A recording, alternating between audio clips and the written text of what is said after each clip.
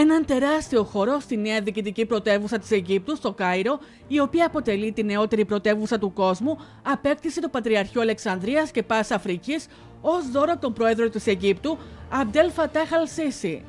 Την ικανοποίησή του εξέφρασε από τη γενέτειρά του ο Πατριάρχης Αλεξανδρίας και Πάσης Αφρικής, κύριος Θεόδωρος.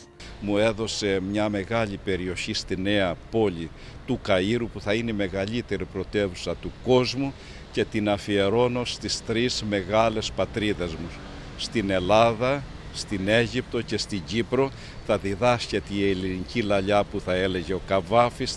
Στον επίμαχο χώρο, ο οποίος αποτελέσει το νέο κέντρο Ορθοδοξίας, θα ανεγερθεί ιερός ναός, αλλά και κτίριο που θα στεγάσει συνεδριακό κέντρο, ενώ θα αποτελέσει φάρος για το ιεραποστολικό έργο του Πατριαρχείου στην πολύπαθη Ήπειρο. Πριν ένα μήνα επέστρεψα από το Κονγκό.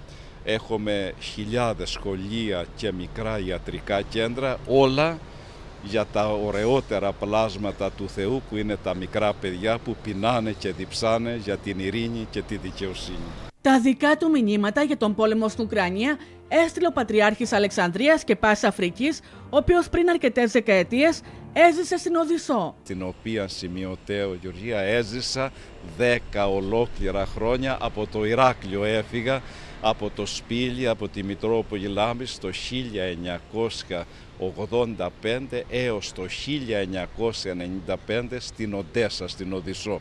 Πονάει η καρδιά μου αυτές τις ημέρες που βλέπω να σκοτώνονται άνθρωποι, να κατεδαφίζονται κτίρια, γι' αυτό μπροστά στον Άγιο Μινά η προσευχή μου είναι δώσε Κύριε σε αυτούς τους ομόδοξους λαούς την ειρήνη, να μην χύνεται αίμα, πλησιάζει το Πάσχα και ο ένας να δούμε συναδελφικά τον άλλον. Την ειρήνη του κόσμου πολλές φορές την ψάχνουμε σε ειρηνευτικές διαδικασίες έξω από μας και αυτό είναι λάθος.